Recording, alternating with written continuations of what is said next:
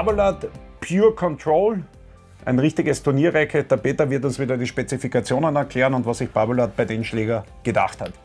Der Pure Control ist, wie schon der Name sagt, der Schläger, der für absolute Ballkontrolle steht.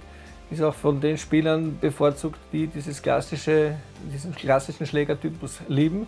16 Längs, 20 Querseiten vermitteln dann auch äh, diese, diese gute Kontrollbarkeit, Kontrollierbarkeit der Bälle. Äh, ja, ansonsten ist es halt ein Schläger, der wirklich gedacht ist für die Routiniers, die einen klassischen, aber nicht zu schnellen Rahmen suchen. Gut, also ich bin ganz offen. Wir haben Stefan hat den Schläger getestet. Äh, für mich war sehr, sehr schwer zu spielen, sage ich auch dazu. Also ich bin wahrscheinlich nicht mehr das Zielpublikum dieses Schlägers. Äh, wahnsinnige Kontrolle, aber man muss richtig arbeiten dafür. Auf der Tour meines Wissens nach äh, Sam Stoscher äh, spielt den Schläger Benny Becker. Wie hast du denn gesehen, nachdem ja du bei uns jetzt für die Tourspieler oder aktiven Turnierspieler eigentlich zuständig bist?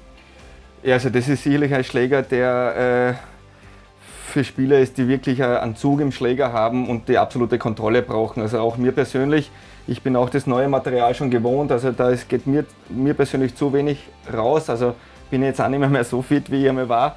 Aber für Leute, die wirklich ziehen und wirklich die Kontrolle brauchen, ist das der perfekte Schläger, aber man muss wirklich arbeiten, äh, weil sonst äh, geht da nichts außer.